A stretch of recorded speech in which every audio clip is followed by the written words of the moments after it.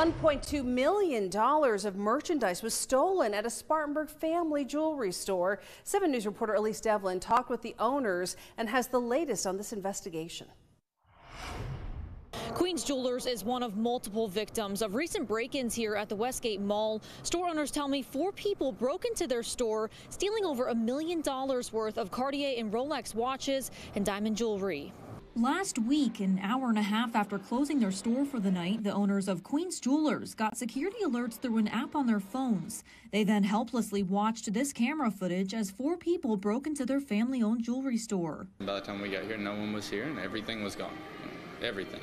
Aside from the loss of money, Queens Jewelry says they are also losing their sense of trust. The money being gone is horrible, but it's a peace of mind as well. You know, you don't, it, you would think in the mall you're safe, but now it's like nobody's safe and it's just it's mentally draining and it's just devastating Spartanburg police say in less than three months, five break ins have happened at the Westgate Mall. Still, there are no arrests in many of these investigations, including this case. Queens Jewelers' neighbor, Super Kick, says they too are having a hard time recovering from a break in recently. They're also a small business and say when these burglars steal from their store, they're stealing from their kids' futures.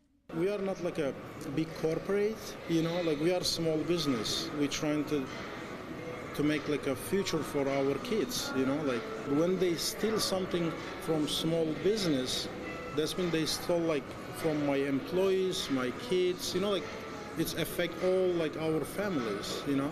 The stores that have been broken into say they haven't heard back from the mall, and they're confused as to how people have access to the building after hours and when the mall is closed. We reached out to the Westgate Mall, and they had no comment. The Spartanburg Police says if you have any information about any of these break-ins here at the Westgate Mall, to let them know as soon as possible.